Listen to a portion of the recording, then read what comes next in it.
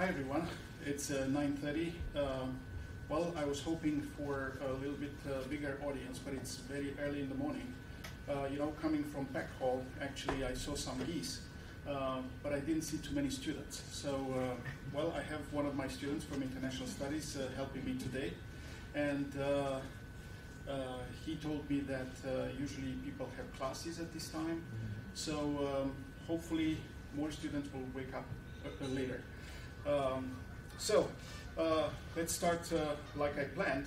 My name is Sorin Nastasia. I'm the director of the International Studies program in the College of Arts and Sciences uh, at SIUE. Uh, like for previous editions, and this is the sixth edition of the International Studies Days, in the past few months I have collaborated with faculty, students, uh, organizational representatives, and community members to put together an exciting series of events for the sixth edition of International Studies Day at SIUE with the purpose of showcasing what the International Studies Program, uh, the College of Arts and Sciences, and the SIUE have to offer. It is good to be back in person with an on-campus day of, of events. Um, a special thank you to all those who have contributed to making International Studies Day a success. They are listed on the back of the program uh, that you have at the table. Um, Three small requests for those attending. Please connect through social media throughout the day, share photos and com comments about the event uh, at SIUE. Uh, the handle, uh, always look at, uh, at SIUE INTS. Uh, please complete the event evaluation form. Uh, if you stay for just one event, then at the end of that event, or if you stay for the whole day of events, then by the end of the day, please remember that there are sign-up sheets available if you're professors are offering extra credit for attending, and we will have food served uh, as well as prizes to draw throughout the day. Uh, now, Dr. Vance McCracken, Associate Dean of the College of Arts and Sciences, will provide the opening remarks. Thank you very much for making time to, to be with us.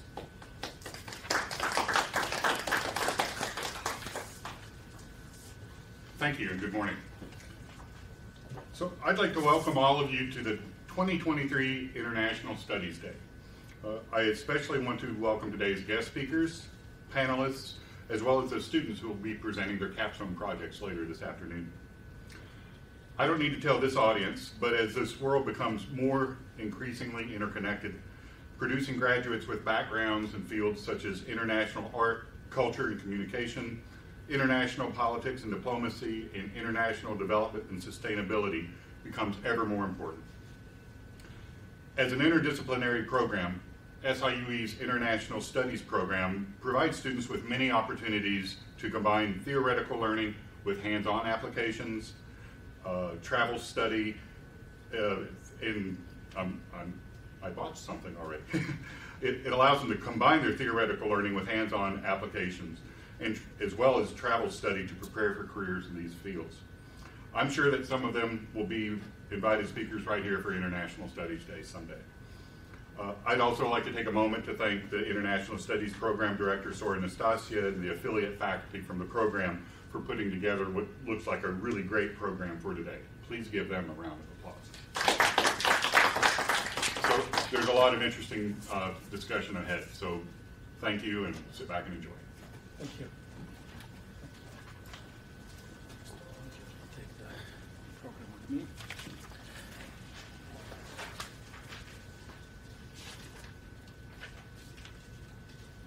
Thank you very much, uh, uh, Vice Dean McCracken. Um, well, uh, the first speaker of the day uh, is uh, Mr. Zaw Tu Hkawng, uh, and hopefully I pronounced correctly your name, um, who is the founder of Through the Eyes of Agony, an art program for displaced children from Myanmar. He also provided special assistance to Myanmar refugees in Malaysia and helped re rehabilitate drug users in Myanmar. He was a project coordinator for BBC Media Action Myanmar and is currently a member of the alumni board for the John McCain Global Leaders Program in Washington, D.C. So he will speak to you today uh, uh, what he has as a presentation under the title Beyond the Coup, Myanmar's Political Context and Diaspora Activities. Please welcome Mr. Hkawng.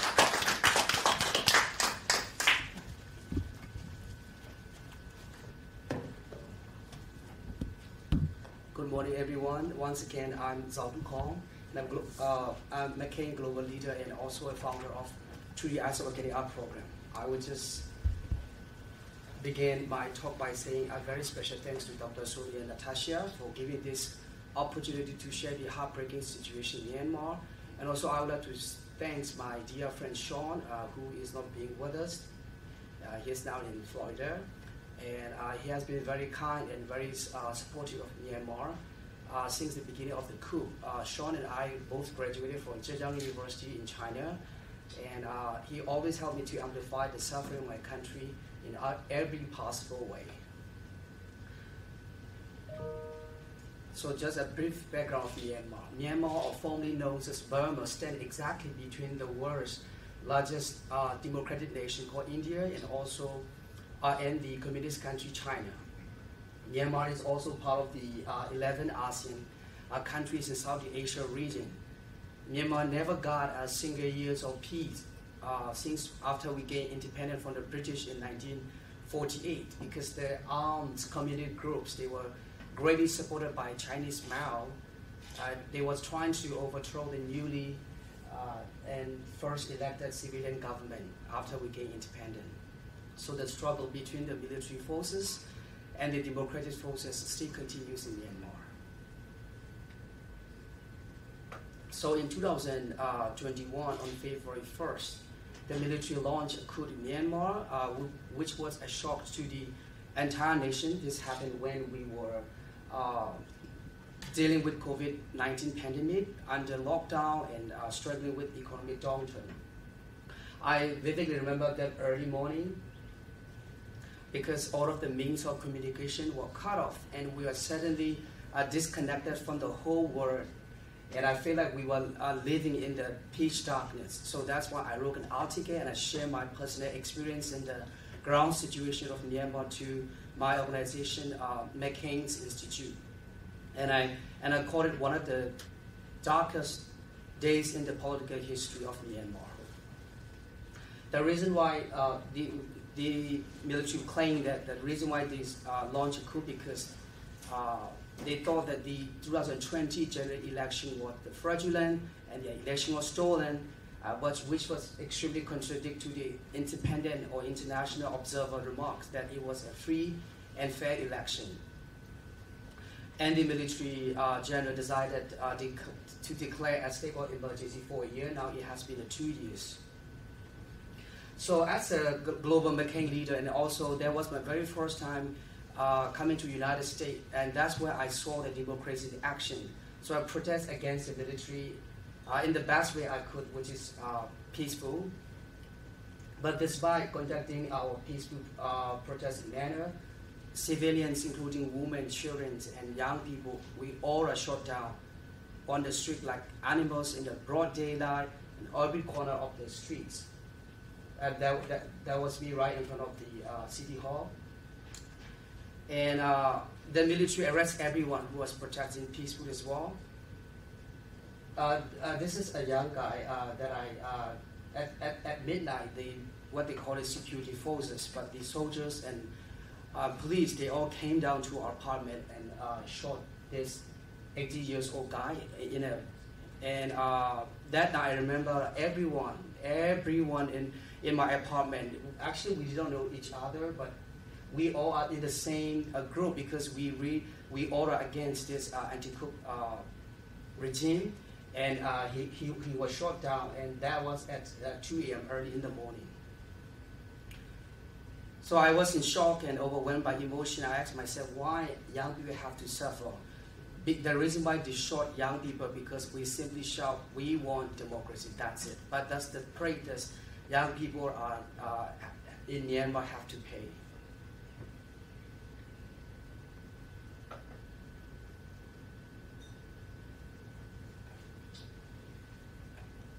I don't know how to uh, how, how, how to describe my feeling right now because it's all the memory and all the painful it's coming back to me. So that time, uh, the, the only thing that I that, that, that I could do was I make an effort to bring attention to the situation in Myanmar. At that time, the uh, Russia and Ukraine war hasn't happened yet, right? So uh, I I contacted uh, the McCain Institute. McCain Institute very uh, kind enough to amplify my voices and let the people know what's happening in Myanmar. So I was I, I interview with the McCain Institute as, as well as all of my international friends as well. And this guy, he contacted me from uh, Lithuania. I never been to Lithuania. I met my friends from Lithuania when I was a cohort of the McCain Institute. And through my friends, and uh, he contacted to me and he make sure that the situation of Myanmar is aware among his communities as well. During my time in the United States as a uh, McCain, at that time they called it Next Generation Leader. Now they call it Global Leader. I had the privilege of being placed at the Los Angeles uh, Mayor Office of the International Affair. So uh, once it happened, I reached out to the uh, deputy mayor. His, uh, her name is Ambassador Nina Hachigian. And I, I told her that would you please let uh, Ellen Mayor tweet about the situation in Myanmar. I know that there are many uh, uh, Myanmar community living in Los Angeles, and I know that the city of Angel really care about democracy and human rights. And to my surprise, uh, actually I was uh, working with the chief photographer and some of the uh, uh, news media department as well. And then uh, Mayor right we tweet for the uh, for for us, and and he called and, it, and he said that Burma is a country I know and I love, and its people deserve safety, dignity, peace, and the right to choose their leaders. So I'm, I'm super, super uh, grateful to Ali Mayor Eric Garcetti. At the same time, Ambassador Nina was everybody very supportive of me. And uh, she even told me that, would you please write every week so that I know that you are safe. Not only that, they went above and beyond by meeting with the Myanmar community living in Los Angeles and assure them that they stand with the people of Myanmar.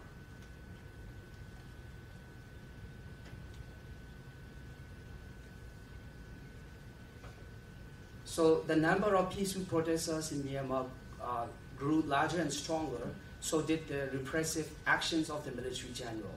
So this really forced me to take precautions to, to protect myself whenever I gave uh, TV interviews, including wearing masks, uh, helmet, and even altering my voice. So in one particular interview with an international media based in New York, so I had to take all these measures to conceal my identity and, and to ensure my safety. As you, you aware that I didn't wear any masks here, but as the situation intense, I have to protect myself as well.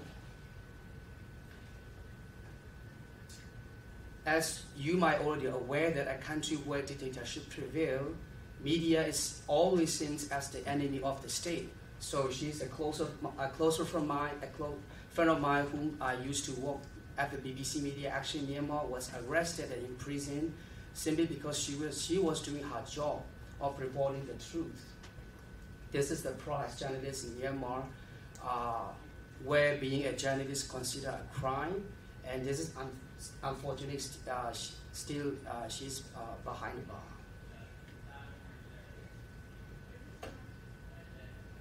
Also, Myanmar military general is known to use a class, very classic tactic to create fear and inside terror among the people. So one of the t- uh, tactics was to arrest two very prominent uh, political figures who stood against him.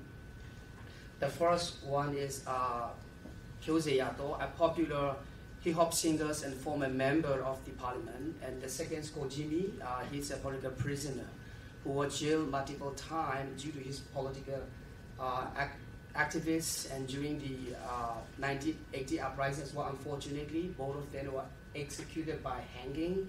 And this is a clear indication that uh, the military consider uh, opposition members as, again, enemies of the state.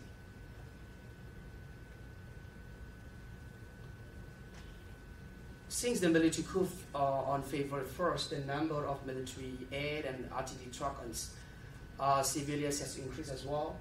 And uh, I myself belong to an ethnic group called Kachin.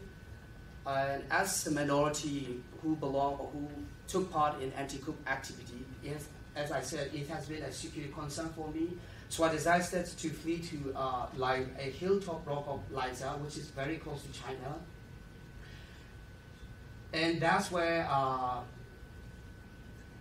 our Kachin uh, independent Army KIA, they have been protecting our Kachin people and fighting for the freedom, justice, and self-determination for seven decades. And amid the crisis, the National Unity of Government, and called NUG, it's, uh, uh, was created in opposition to the ruthless military regime, and many of the executive leaders also uh, fled to the Laiza. And Laiza is also a place where uh, uh, camp for internally displaced uh, has it surrounded, and that's where I got the first sense to see how the uh, IDP children has been surviving in a makeshift uh, camp. And uh, they are also facing quadruple uh, humanitarian crisis, the, the fallout of COVID, uh, the COVID-19, a shortage of essentials such as water, food, and clothing, and also natural disaster. Um, children in these cases, uh, they have they have seen it and experienced something they are not supposed to be seen and experiences. So many of them, as helpless as they are, many of them only able to feel the uh, emotions, and those emotions are needed to be expressed in a certain way. And uh, what I learned was that the, the best uh, way to express children's suffering is through art.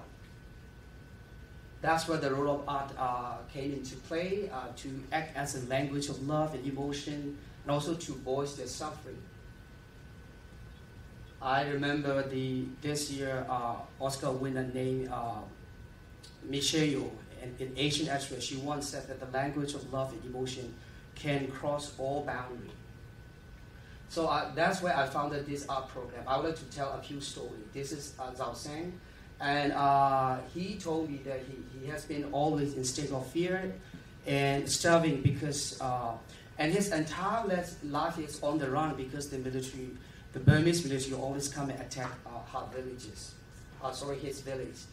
Um, he told me that his parents' entire village were burned down by the military ruthlessly, and family were dispersed, and, and still uh, they could not they could not find a shelter over over their head.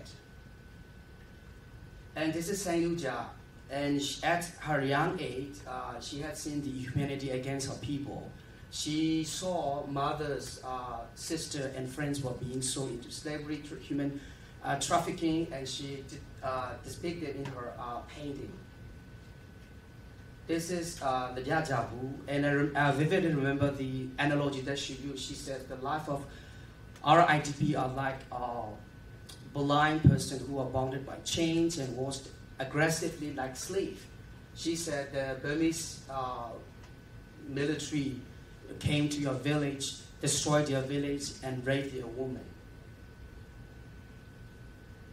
Uh, this is Kowloon, and as, as you see in his uh, art, he said the atrocity that committed by the military is ruthless and barbaric, and he, he said his art represent a pregnant woman who are haunted by uh, bloodshed, cooks and gunfire, cops, gunfire, and uh, they kill all the Kachin people. So these are just a few stories that I told, told you, but we must remember that there are many stories that are unheard. So over 100 IDP students, uh, Kachin art student has joined my art program, which uh, called Through the Eyes of Agreement Art Program. And this very program exists in order to uh, amplify the suffering, the atrocity of uh, the people of Myanmar. And also, I want to, to cultivate a culture of hope, love, and compassion. So this is the order by because they, this IDP can uh, live up on the mountain. So we have the daily routine of bringing food up to the mountain. This is how uh, they, they, they, they eat uh, just a sticky uh, rice and boiled egg because they don't have enough food and since they don't have enough plate, we use uh, banana leaf instead.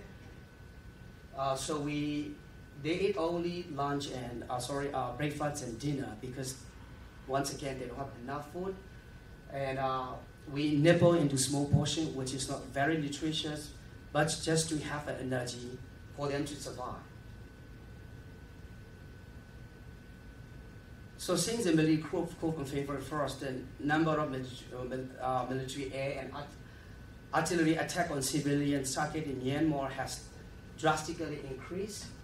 And shockingly, what I found was that there, there were at least 600 air attacks by the military between uh, February 21st to uh, January 2023, making Myanmar the top country in the world targeted by area bombardment against its own civilians. So the number is even higher than the airstrike carried out by Russia on Ukraine. So he is uh, uh, Tom Andrews, who, who's the uh, UN Special Rapporteur in Myanmar, and af- just last a couple uh, couple of um, days ago, the military once again attacked, and many uh, school uh, school children was were murdered. Uh, after that event, he called out to the leader and said, "How many Myanmar children need to die before world leaders take strong and coordinated action to stop this kind of carnage?"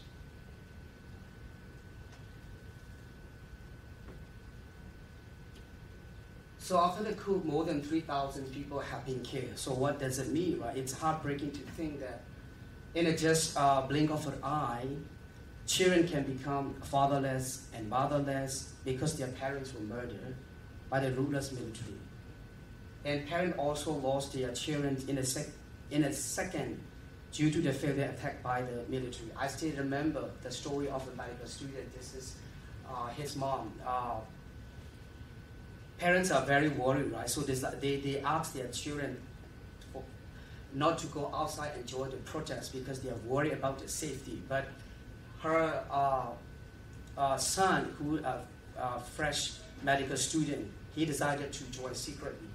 Actually, right outside of his home, that's where the military came and shot him on the spot. So this kind of story happened in each and every day. So it's really a devastating to see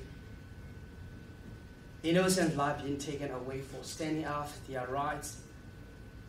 So I want you to imagine in a country where young people are shot down simply because they want democracy. After the coup, the military junta has jailed over 70,000 people.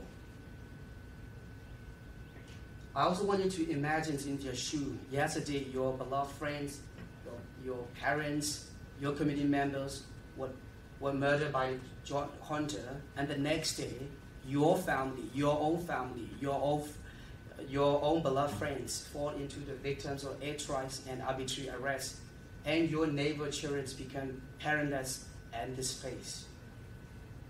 So this kind of the price that Myanmar people are currently and has been paying for uh, since the beginning of the coup, because we are simply exercising our rights and simply exercising our freedom of speech and even voicing our thoughts, and they all are regarded in Myanmar as punishable by death, and we all are criminals. So over 1.5 million people has been dis- displaced after the coup. For us, the struggles and uncertainty have become our daily bread and butter. It's very unfortunate that hope seems to be a thing of the past, and there is no hope at all. So about 15 million people face severe shortage of food. Because people are forced to sell all of their belongings just to survive, and now we don't have, uh, we don't left nothing, have nothing left. So this really lead to a situation where there is no food available, and children are starving each and every day. Over 40,000 homes has been torched.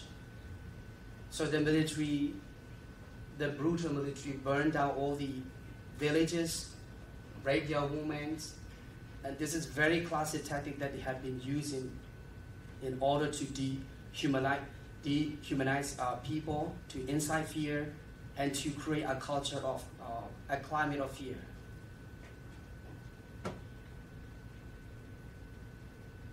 It's very unfortunate 8 million children have no access to education as well.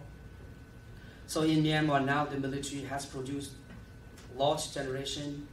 Apart from the bloodshed and killing, what Myanmar left is a generation, a generation of loss, a generation of traumatized people.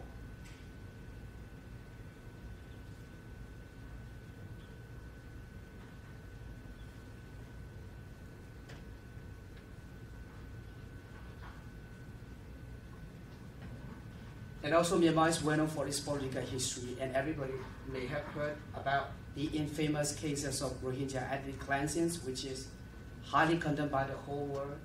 Also, Myanmar is now caught of uh, in the middle of the second longest world war between the uh, civil war between the ethnic armed groups and the, and the military. And also, Myanmar has become a failed nation and Myanmar was under six decades long uh, full military control and slowly opened up to the quasi democratic in 2011, but now tragically fall back into the rulers military again. The reason why I tell all the story and everything is that I really want you to let you know and inform you that Myanmar's brutal military regime is a mass murderer they are war criminal and also a cheerleader for genocide.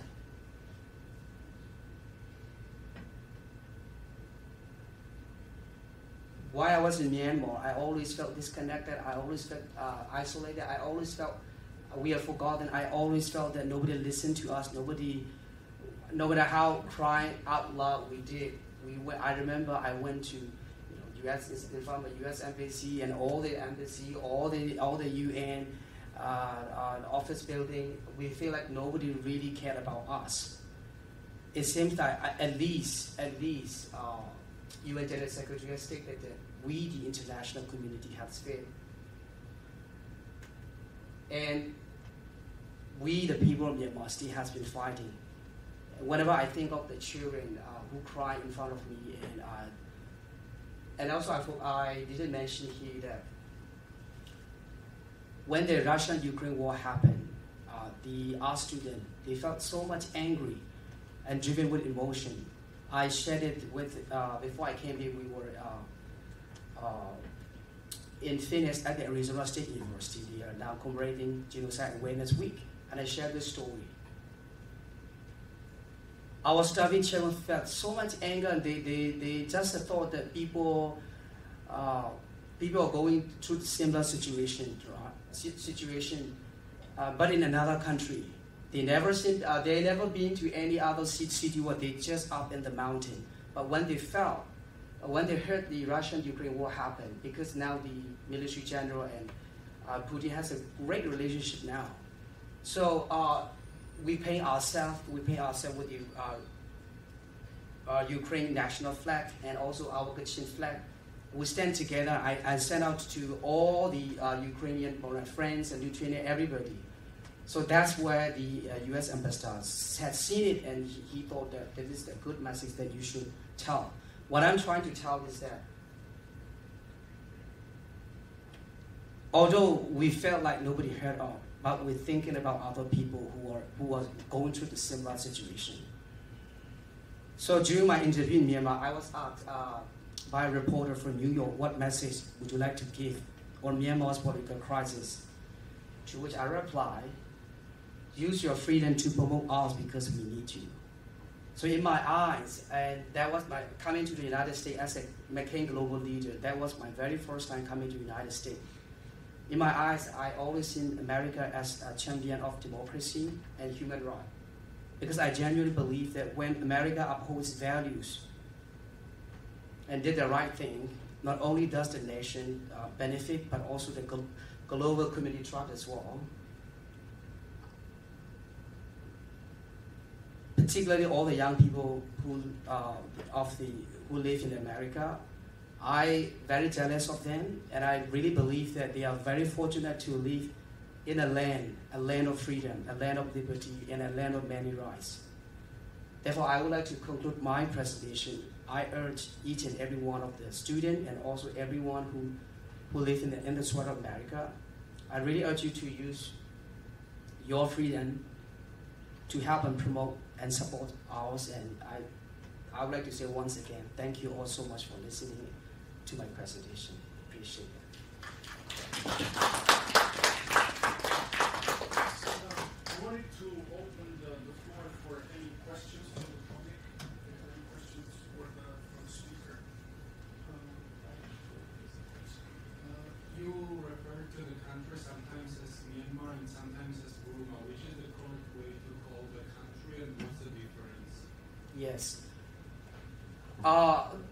I think the American government still calls us Burma. So in your website, you will find it uh, Burma. Uh, in in Myanmar embassy as well, U.S. embassy in Myanmar, they still use Burma. Uh,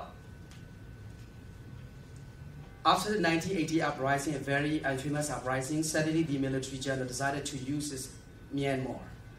So uh, it has nothing to do with the will of the people of Myanmar. People of Myanmar. So the currently Myanmar is our country registered at the United Nations as Myanmar. So uh, the West uh, like to call us Burma, and one of the uh, very famous historian, who is the uh, grandson of the uh, former UN General Secretary U Thant, he, he's a famous historian. He said he still like to call it Burma because it's connected to the history. So when the British colonized us, they called us Burma. So, uh, so that's why I call it Myanmar or formerly known as Burma, so that some people might get it all, which country that I'm talking about. So, yes. Anybody else? Yeah, what, uh, what's the positions of India and China, uh, toward Burma,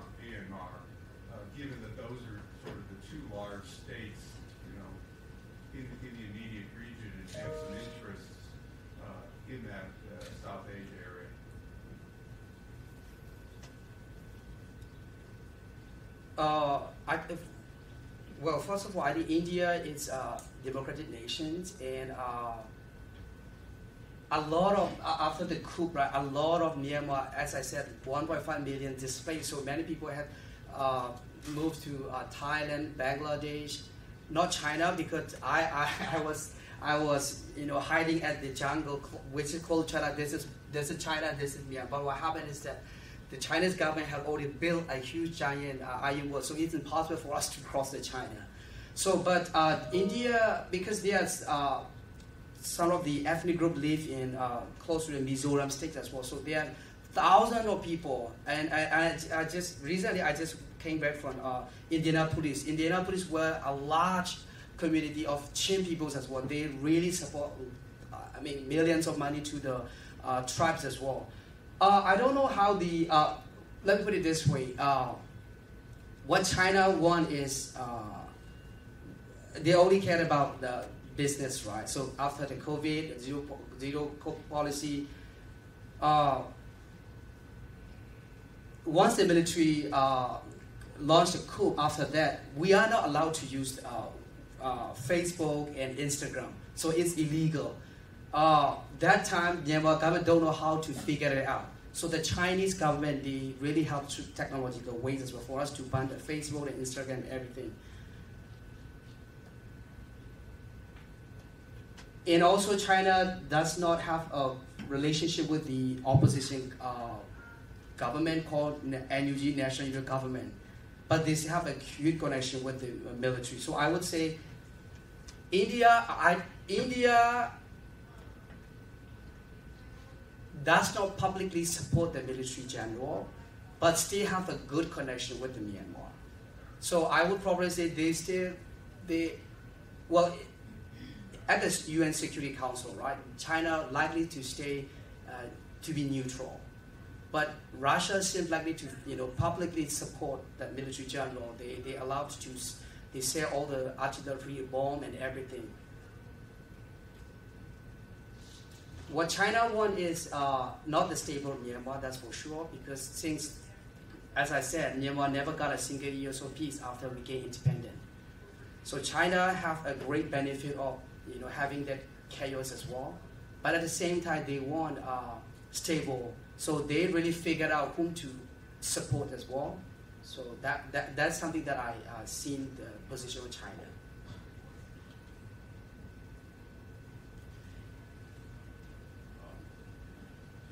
Yeah, I do. So, um, in 2020, military coup uh, took over the government, right? So, my question is, what happened to the previous uh, government that was holding the office? Was they in prison or, or what happened?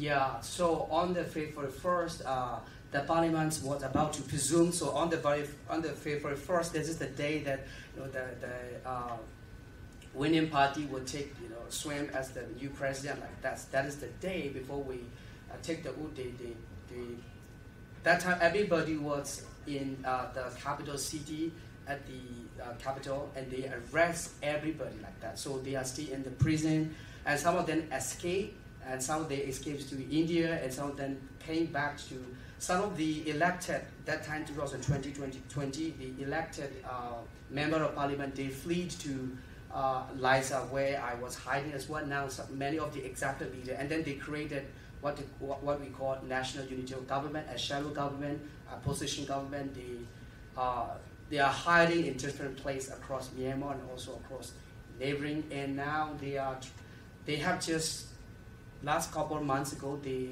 uh, launched a new office in uh, Washington, D.C., trying to get the legitimacy from the international uh, uh community.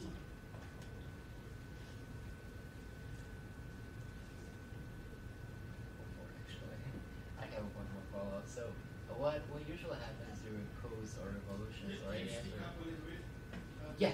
So what usually happens during uh, revolutions and coups and these kind of uh, conflicts is the government loves to shut down the internet, right? Yes. We've seen it over and over in different countries like Iran.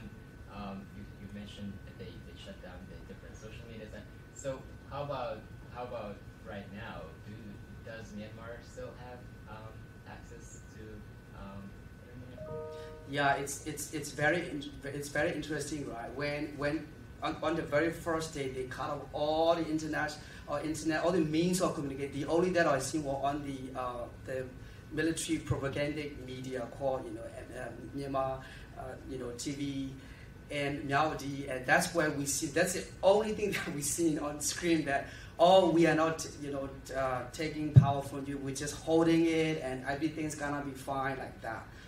It's very interesting, right? For after that, uh, the military. This is the world's longest military dictator ever lived on the planet. So uh, what happened is that they also, the, this military have a, a conglomerate of business, right? They do a lot of business as well. So it's really felt their business too. So it is impossible for them at one, at one hand, they want to shut down everything and then they let international people, community know that everything is fine. But at the same time, they are losing their business as well. So it is impossible for them to shut completely down. But what, what they did is that they shut the Facebook, right? So I have two phones uh, when I was in Myanmar, right? One, you have to we have to be very active, and when I when I was studying with Sean at, in China, we have to use the VPN, right? But in Myanmar, I feel like I'm, I'm, I'm now fall back, you know, I'm, I feel like I'm in China now like that because the, the China help uh, with technology too, how to you know build a world, you know, not to access to the uh, Facebook and uh, Instagram like that. So for them, they definitely would like to shut everything down, but that will be a control, that will be a self-defeating as well. So it's impossible. I, I was asked the same question by the Arizona State University students as well. How ready to for the media as well, they see it as you know enemy of the state, but it is impossible for them to completely shut down because they would like to share their propagandas as well. So I, I call it uh, a good person use media for a greater cause, uh, good uh, for a noble cause, but an evil person use media for you know, evil, evil uh, purpose. I, I wanted to ask you, uh, what is the future like for the people of Myanmar? Or is there any hope of uh, organizing from the inside and bringing some democracy to the surface, or is everything under the lid of the junta? That's the question I ask myself every day. I ask all the people who are expert. Uh, we have been in Myanmar on the ground for so many years, and it seems like we, we don't have a simple answers for that because it is not. It is not a simple. Uh, let's say apartheid, you see that this is a black and this is a white, right? So in Myanmar, it's very complicated situation, right? We got this one like that. So you know we have a seven decade long civil conflict. You know we're the world's second uh, world's second longest civil war after Israel and uh, Palestinian conflict. Now we got Rohingya issue, right, which is condemned, which is called the ethnic cleansing. You know, it's a genocide like that. So it's very complicated, but what at the end of the day, what we usually say is that as long as we didn't give up, we didn't we didn't give up, and uh, we will win. That's the only thing that we can say. And we, we have to. Yes, sometimes it's very frustrating. It's been two years. It's been decades. Everybody's so tired of it. Nobody wanted. It. People just want their life, right? So once it happened, uh, in Myanmar that the what we call the civil disobedience movement, right? Doc, professional doctor, teachers, engineer, everybody, everybody decided not to work in order to paralyze the, the, the government system. But still, uh, people are struggling, right? Some people go back and join uh, the, the system like that. So I don't know. I don't. Know, I do not have a simple answers, and I I very much hope that the, that this kind of situation never happen in Myanmar. For me, right, my grand, my grand grandparents, my father generation, our generation have suffered that military, the represses, and you know, every, every, we have suffered all sort of you know strategy under the military. I really do not want next generation to be going the same like us. So I really, I for me, I have determined to speak up for the people of Myanmar and to do whatever possible way I can. And as I mentioned earlier, the, the uh, arts program. They are grown up in the IDP camp. They know how to speak the official language as well. So I was talking with the ASU as well. They get that what they call it educational humanity, where none of their certificates, you know, accepted by or they don't have any credibility.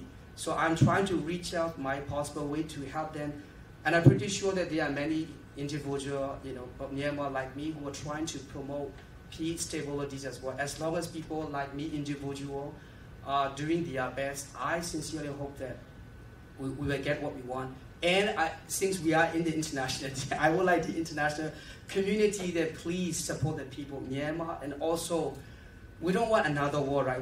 At first, at first, our young people, let's say, well, please R2P and no flying zone, please send us the weapon. We're gonna fight this one like that.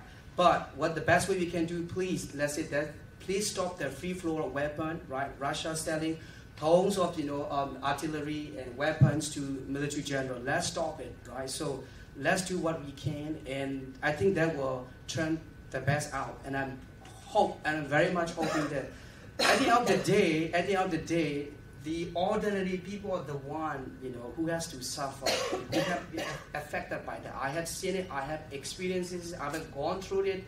I really want to stop, and yeah, let's let's uh, you know uh, join together and stop this brutal military. So, and it will make our world a little bit you know uh, peace of mind.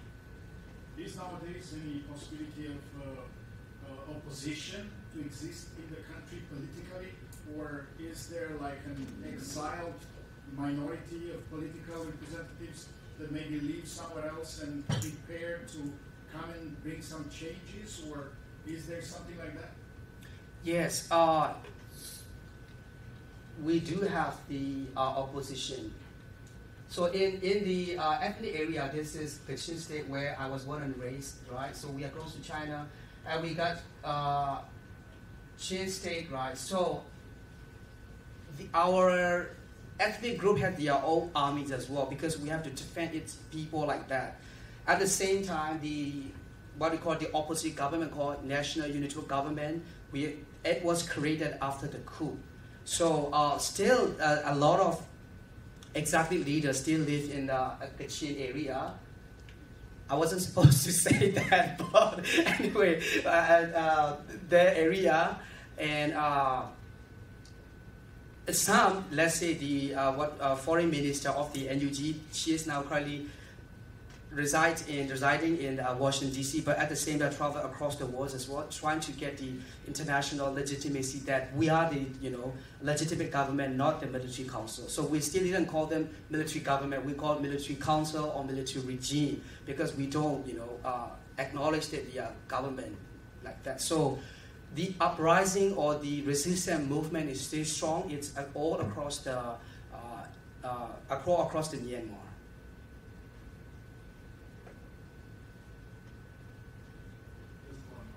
Is there any chance that all the ethnic armies that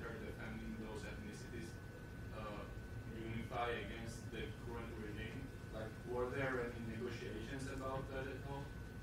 Yeah, uh, in a very, Myanmar is a very sad scenario and situation, right? So we never got Union of Myanmar uh, before we gained independence. Even when British came and ruled us, they ruled us with uh, the divide and conquer group, right? So this is the group, this is the group. We even call it, they don't call us ethnic group, they call us uh, tribe, you know, hill tribe like that. So what they rule us separately as well. And we never experienced sort of the federal democracy, right? So the, the Burmese majority rule and they, they take everybody's as well.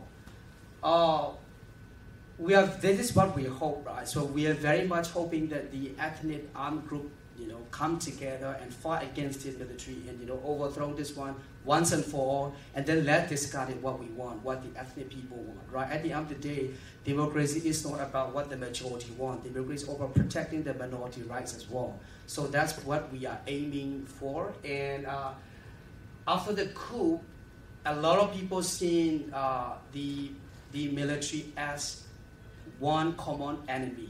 In the past, they used to say that oh, they, because they, they don't see the Myanmar as uh, you know collective or we, we got a two identity, one ethnic identity and also religious identity as well. So with the Rohingya case, that was the religious identity. That, oh, this is the Muslim, and we have to kid out like that. So now we see that oh, the reason why we got this identity, we are not, you know, uh, united as a country is because the military, you know, divide and they rule us. So uh, now people see the military is the only uh, common enemy for everyone and I'm very much hoping that people come together and uh, fight against this uh, military once and for all, and uh, and uh, compromise right what uh, what we want and negotiate each other for the benefit of the ordinary people.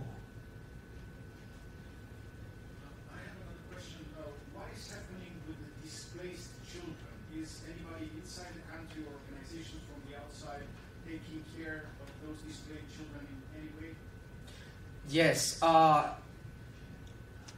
whenever I talk about those one, I become very emotional because I myself have three, right? But at least somehow I can connect with the McCain Institute. Oh, would you please help me? I don't have any food to eat. Would you please help me? At least they help me to reach. At least they know that.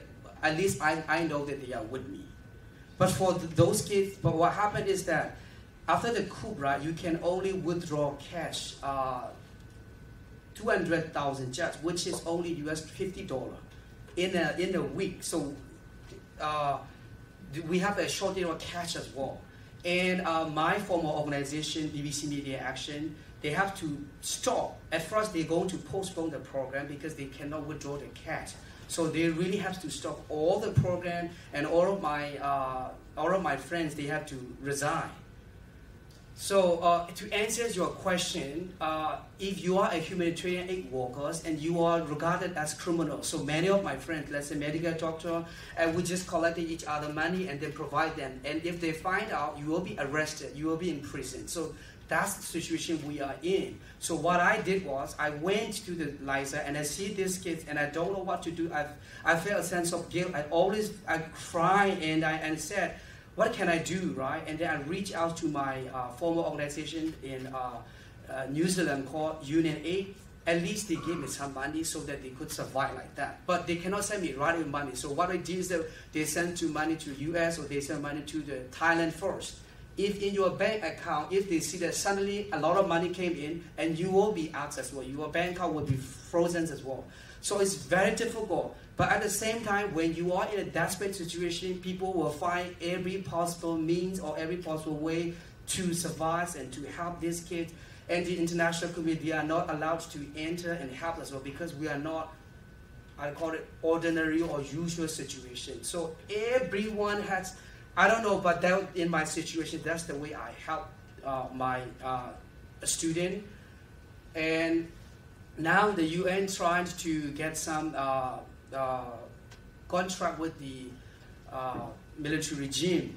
But at the same time, the, the, the people of Myanmar was worried that it really, if they have you know some agreement with the, uh, if the United Nations have make some agreement with the military council, it also means that they give them some legitimacy as well. So they don't want to happen like that. So we are in a very difficult and challenging situation for both parties who would like to help as well. If you help somebody like that, if somebody knows that you are helped by someone, let's say you just only give, let's say 50 US dollar, then sometimes it give them some risks. Now I was just talking with the Asian director of the ASU, right? So they said, just say we, we would like to help your student, your uh, IDP student, right, your kid, but do you think that that will put them, you know, at risk? We don't want to make it happen because they are very cautious about it.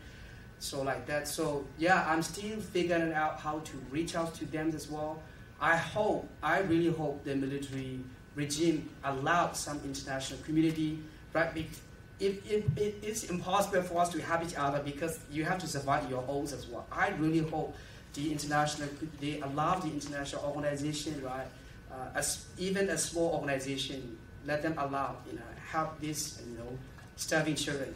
But what they can do right now is that you have to flee other countries, let's say Bangladesh or Thailand or India or even Malaysia. And that's why I just met, uh, uh, he is not running a huge international organization, but it's a small, small group, but he was uh, supported by the USA. So he went there at the border of the Thai, and that's where he, he helped a small community. So that's the, that that you have to if you want to get help then you have to flee as well. But how you gonna flee? If we got a neighbor, neighbor aggressive neighbor like china it is impossible. Uh, you see Russian propaganda is represented as power in media? yes. It's it's it's very interesting right? Yeah we got a Myanmar and Russia had a good relationship since the beginning of you know independent. Right? Usually they send the uh, junior and uh, senior officer to, to the uh, Russian military academy as well. It seems like now economically we depend, we're much more depend on China. So military we depend on uh, uh, Russia, and even uh, imagine it when Russia, you know, attack on Ukraine and Myanmar, you know, killing its own people. In that scenario, uh, Russian Putin right decided to meet the genocide leader, the military chief, uh, Min Aung Hlaing in uh, Moscow. So, in just last week, Myanmar, this is the biggest uh, festival for the Myanmar Buddhist people. The majority of our Buddhists is celebrating what we call it a water festival, right? So what we did is that they invite even individual uh, uh, Russian, and then they allowed them to uh, uh, uh, entertain the people. And they said Russia and Myanmar has a good relationship, and that was for you know broadcast at the state media. So they, they like to show that Russia and Myanmar has a good relationship, and you know, even uh, leader to leader or state to state at the same time to people to people communication as well. That's the way they uh, spread their propaganda among the people of Myanmar, also to the international media as well. Unfortunately, the dictators are very united while our the democratic forces are trying to take each other down. Yeah, that's just that's very sad.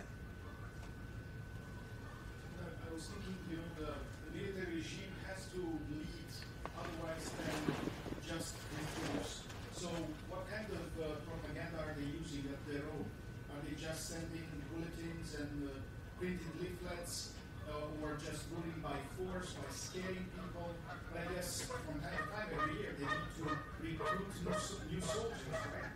How are these people selected and how, how is the people of, uh, of Myanmar convinced that they still have this, this military junta in power? Yeah, that's a very good question. And uh, once again, we have to remember that this is the world's longest military dictatorship that ever lived on the planet. You study political science, you will know that the military dictatorship, you will see the Burma. I never studied political uh, science back home in Myanmar. I studied political science along with Sean in China, and our professor is from Colorado, a white man living, uh, teaching us political, political science in China. And that was the very first time I see that, oh my God, my country is the law. Because when when I was very young, we don't have Facebook and everything that we only get the propaganda. But now I think, uh, but now what I see is that first they they uh, create a, a, climate of fear. So by arresting all the people, let's say at one time uh, let's say you don't you don't participate in that water festival, which is run at the military, and then you change your Facebook profile, and then you will be arrested. Let's say if you're a social influencer, you don't say that I I against the military. You just change the profile into black during the water festival. Why every why the military run you know um, festival is happening? You will be arrested. So this is the way they incite fear. But at the same time, on the media, right, celebrate, they will show all those you know, at first they don't have an audience as well, but they show the state, and they're oh, I, I'm just you know having a good time like that. They show that oh, Myanmar is now very stable like that. I would say uh, the military general is trying all the possible way to to to create fear by arresting, by imprisoning people, all the political fears and everything. But at the same time, having a strong, good relationship with the uh, other uh, other dictatorship like Xi Jinping and uh, Putin, and uh, at the same time they try they still uh, block you know uh, Facebook and Instagram, so they use all the tactic. Oh, I have to mention that once it's happened, right? So all the uh, ground troop infantry they went and attack all the uh, ethnic area. But what happened is that since they don't have a moral, you know, they fail. So now they now what happened is that they don't have they, they don't know how to recruit new soldier. So what they did is that all the all the ethnic group we none of the ethnic group we don't have uh, air air jack or artillery. So what they did is that they use the conduct you know uh, uh, the airstrike and then attack all the ethnic areas. So for the military in order to survive, that's the only only method that, that, that uh, they use in order to attack all the armed ethnic group because we don't have that, uh, uh, you know, uh, jet, uh, jet, uh, jet fighter to attack, you know, to against the uh, military. Now, yes, the, the military general having the, the very difficult to recruit new soldiers because nobody wanted and nobody really want to fight. And only I want to mention that there there was no sign of immunity since the founding of the army. Because if you if the soldier if the senior soldier find out that you know you are uh, and I, and I have and I heard that they are not allowed to go outside and they are not allowed to watch uh, any other news media except the state propaganda and they have to stay only inside the troop or the inside of the military compound so they, they use all the possible means to you know uh, to, to repress their own soldiers but at the same time to spread the propaganda and to repress its own civilians as well.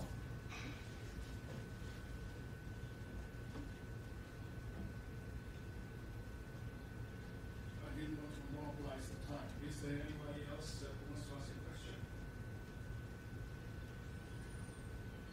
Yeah, I got kind of a question. And in a regime like that that you're speaking of, where people are oppressed, and I'm thinking they've had years and years of this, are they aware how badly they have it and how badly they're oppressed? Because if you don't know any different, I wonder, you know, if they, they hunger for a much better life. I got your point absolutely, and uh, I felt that one before I. Uh, until you leave your country, you don't know how oppressed you are. That's exactly right. And the very first time I went to Thailand, I see the because Thailand and Myanmar very close, right? That was I said, oh my god, I didn't know that I was oppressed for so many years. I didn't get the internet, I didn't get everything. So when when you are under the uh, regime and you don't know what is your rights as well, and then you you, are used to that system. So. Uh, but what happened is in 2011, right? Suddenly the military general and somehow give some power to the uh, people of Myanmar. There was a, a rising uh, opposition energy as well. So in 2011, where everybody, the international community, think that all Myanmar has changed. Even the president, the ex-president, he is an ex-general. Even he was nominated for the uh, Nobel Peace Prize as well. Oh my God, this is a genuine development. But there was uh, power uh, confusion as well. And so 2011, suddenly our economy had grown up. Even uh, U.S. Uh, former President Barack Obama came to our nation not only once but twice along with my uh, uh, de- uh, deputy mayor and my host organization, Ambassador Nina Hachigian. So uh, this is the way they can, you know, manipulate, you know, their true intentions as well. But at that time, uh, a lot of young people, they, they, they know what's, what, what it looked like, you know, uh, to be living some sort of freedoms as well. You can somehow criticize, you know, your government as well. Some political prisoners were released. There's some media, uh, uh, press, freedom of press as well. So some of the very prominent uh, journalists even came to Myanmar, and a lot of a lot of uh, businessmen living in uh, Singapore, Thailand, and, and, and even United States, they came because they want to, you know, be part of the genuine, well, part of, you know, development. So that's why when the military launched a coup, some I have seen even there is a, some local news media reported as well. Her father is a general, and then they decided to come out. He said, "I can't use Facebook. I can't use uh, Instagram. Why my father, you know, oppress us like that?" That time the military hasn't shot everybody. Everybody asked, yeah. So we can protect. Literally, I you, you will see in, in, in my uh, photo. That I was one of the first group that against the military general. So you will see that we are right in front of the, the, the soldiers and the uh, police. So up, up, up on the uh, city hall, they, they have a snipers as well. So we are very scared. But that time, they, they, they are not, I don't know they are not allowed, but they haven't shoot at all yet. To be honest, that time I was a very first group. My friend, oh, you speak English? Would you please? None of the media reported yet. Would you please say in English and let's spread, you know, awareness about Myanmar. Honest, I'm so scared because I'm holding, I'm holding the, you know, the chief uh, of the staff. Actually, I'm shaking like that, right? But I, I know that it's gonna be worth it like that. So uh, that's that, that's a very good. question. I would say the young people has taste what it's like, you know, to be, you know, living, what it's like to, to be free. So people will not give up now, so they, they know exactly what uh, uh, to be believe under the repressive government. So that's why I think young people, even the older generation, when we are on the street, many of the young, uh, older generation, don't do that, don't do that, don't do that, don't do that. And then we call it, we call ourselves Generation Z, right? And we got new, and next generation, we're gonna uh, determine what kind of future, what we want. Not you guys, we call it Generation F. And you know what's the F? You guys are Generation F. If you don't want to protest along with us, if you are not in a group with us, you better shut up and we're gonna lead our nation. So young people are very in, in the age of the media where you are connected, like I'm connected with Sean.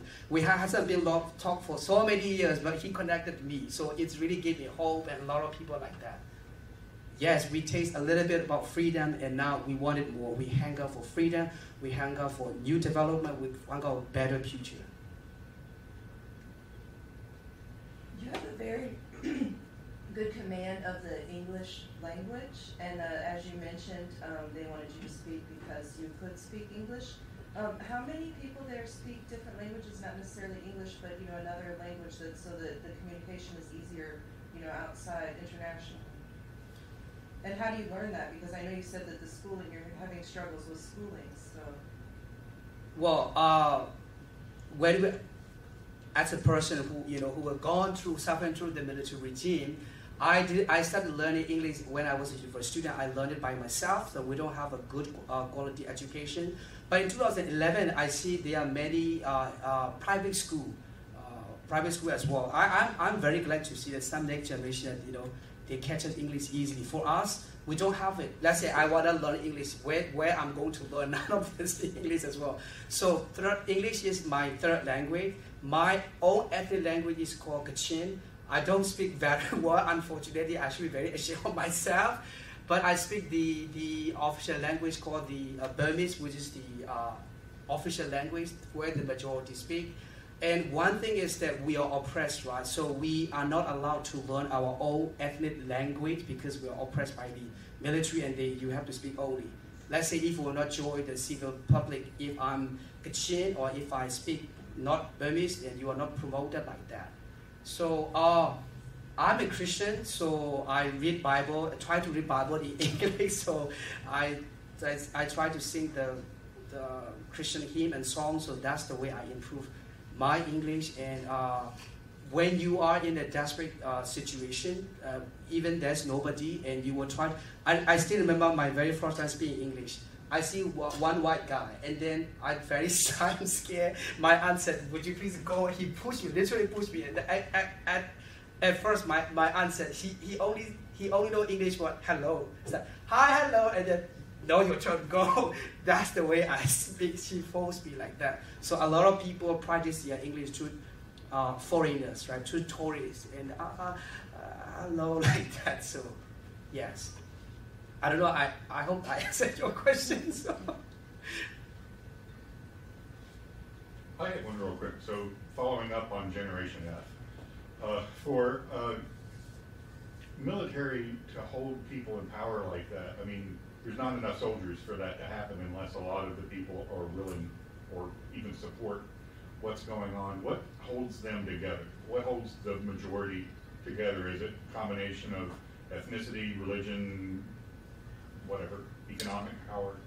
That's a very, very good question. I, and, I, and I even wrote an article about it uh, for the academic paper because ma- many of them, they don't write about it. So once again, this military has been staying in power for seven decades. So they have, basically they are in, they are everywhere. I still remember when I was very young, right? If you talk about, if you talk, if you like, if you talk about, if you just only joke about uh, the military, you will be arrested. I that's why none of the, I, I never seen political science book. I never seen political attire like that because everybody will be in prison. So the military has been be a very uh, systematic uh, institution, which is very strong, and uh, what holds them together is fear. I would say fear, and if uh, some of the general uh, they like to you know, cooperate with the democratic forces if they know that if they show that his position will resign, his entire family will be wiped out. And what happened is that a lot of military they even run uh, uh, huge business as well. That's communication uh, uh, in terms of telecommunication, hotel, everything. Let's say if I have never, never, ever seen anybody become rich without association with the military. Never seen. I, I'm not rich. If, if Burmese people studying in America, oh my God, there's something related with the military as well. So, in terms of that's in terms of religion, they all are Buddhists. If you want to, if you want to serve in the military, you have to be a Buddhist. I once, I once think when I, I, finished my matriculation examination, I was thinking to join the uh, uh, military as a uh, med- medical student, but I wasn't uh, allowed, right? Because I belong to minority. At the same, I don't, I, I don't belong to the Buddhism as well. So religion is something that they they use. They they they politicize the religion as well. So religion is the main thing. Now what happened is that in Eddie Hepburn, one of the spokesperson of the military. What happened is after he killed thousands of people, he decided to be a monk. Now, now he just shaved his head and he said, "Oh, I, you know, I, I become a good guy now." That's that's the way they um, uh, perpetrate their, their perpetuate their power, and it fear, religion, and race as well. If you if you are Burmese, you are the majority, and you are the superior, and you will get all the uh, benefit like that and uh, business. So if you want to if you want to be successful in Myanmar, you have to associate with the uh, Burmese military. That's if I apply for uh, company registration. Yes, they, they will give you more, probably after one year, two year, five year. But now, if you worship them, if you close with them, you will get right away like that. So in terms of business, in terms of society, in terms of religion, in terms of ethnicity, everywhere is you know they take in all aspect of our area. So it's very strong uh, sometimes thinking about you know uh, destroying this uh, regime. It's so challenging because they, have been there for so many years. I mean years being decades seven decades so it's very difficult but i believe in miracle right so hopefully people come together and uh, with unyielding uh, unwavering determination and unshakable, unbreakable strength, and uh, that will be something uh, I would like to see. But it, it's very interesting. That we never have a history of immunity, right? In period, you might heard of the uh, power revolution, the people power revolution in Philippines, where the Marcos, right? He was he was overthrown. What happened? Thousands of people came up, millions of people joined, but Marcos never flee his country until until his close general decided to cooperate with the people of Philippines. If that's happened in Myanmar, I know that's gonna be really a huge win for everybody. But none of them step for, step forward because of the religion, because of the, the business that you belong to, because because of everything, because you are everything is controlled by the military. I hope you I answer your question. very good, thank you.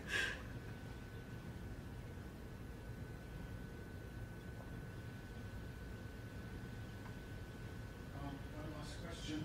Uh, Now you have been in the West, and I saw that you collaborated with BBC, and you are with an organization in Washington DC.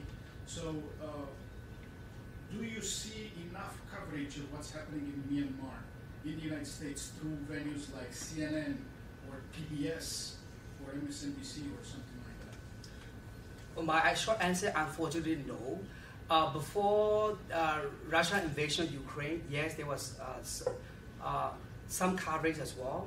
And but after the Ukraine, uh, after the Russian-Ukraine war, and also Afghanistan, and uh, there was less and less coverage. And my my, I always suggest the communicating as well. Please cooperate with the uh, Ukraine government and also uh, show your support to the people of Afghanistan as well because we are in this together because they understand when you are you know oppressed when you are under that situation and uh, yes unfortunately uh, there was less and less coverage and yes I, I completely understand uh, that's why I'm that's why if I'm given a chance to talk I always make sure that you know I, I give some time to talk about Myanmar to raise awareness I will be very glad to, to, to give my interview with the CNN and CNBC. If you know anybody from the CNN, anybody, please let me know. I'm more than willing to cooperate with all the uh, media. Well, uh, let's give uh, Mr. Hkawng a round of applause. Thank you so much. everyone.